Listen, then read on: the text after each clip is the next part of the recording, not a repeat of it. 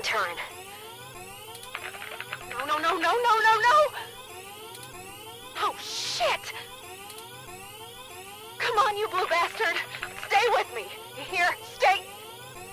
Blast it! I'm getting fatal errors every time I try to reload their personality profile into their RAM. I don't... I'll try... No, that won't... This can't happen. Turing!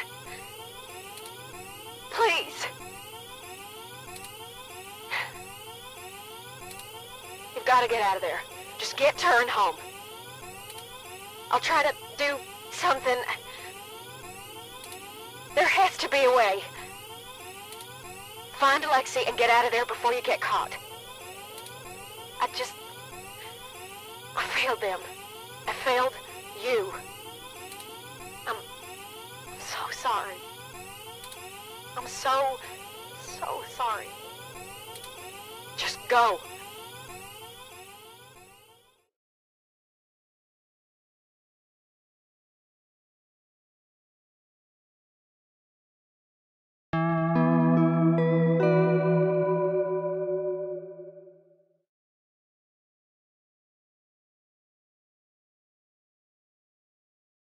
After carrying a lifeless Turing out of the server core and Parallax compound, you find Lexi, injured, and together take an autocab for a quick escape from Treasure Island.